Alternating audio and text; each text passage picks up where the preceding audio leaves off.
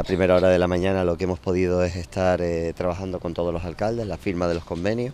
Estamos hablando de 83 millones de euros que se van a poder invertir en toda la isla de Fuerteventura, pero no se van a invertir eh, de manera aleatoria, sino que hay un trabajo serio y riguroso detrás de los ayuntamientos con el cabildo, de tal forma que eh, de tal forma que al final el objetivo que se persigue con el Fondo de Desarrollo de Canarias es el de poder diversificar nuestro modelo productivo, nuestro modelo energético, nuestro modelo social.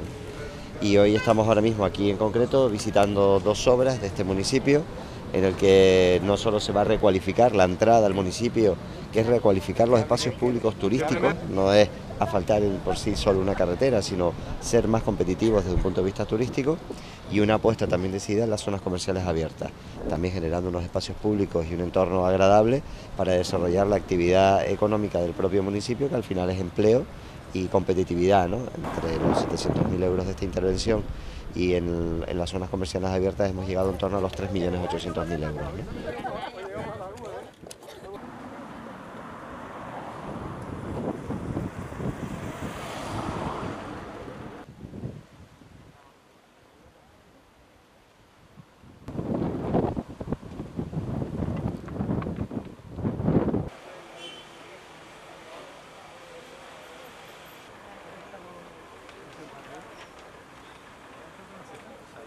Eh, estamos ahora mismo colocados aquí, estación, Graubazas es esa calle hacia abajo, o sea que si lo colocamos hasta la primera fase es en la parte central de todo este tramo, cometer eh, por tramos cada... vez.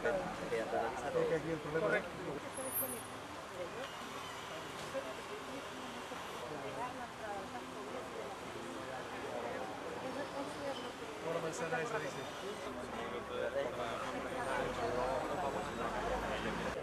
Sí, sí, claro, claro. Se quitan las jardineras. Se quitan las jardineras, se van a bajar. No hay sombra, hay sombra y en verano... 3.500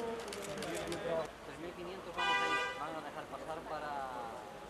Ahora el